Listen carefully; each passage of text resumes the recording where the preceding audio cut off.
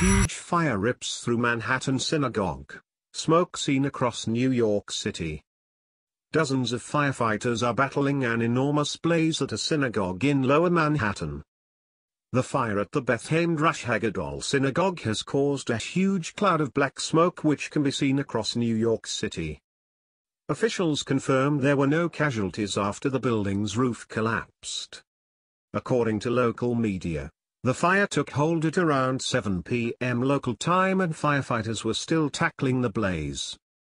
The blaze has been classed as a three-alarm fire, meaning at least three sets of fire units were requested to handle the blaze. Thank you for watching. Please subscribe to us on YouTube. If you like donate to us visit home on the page PayPal.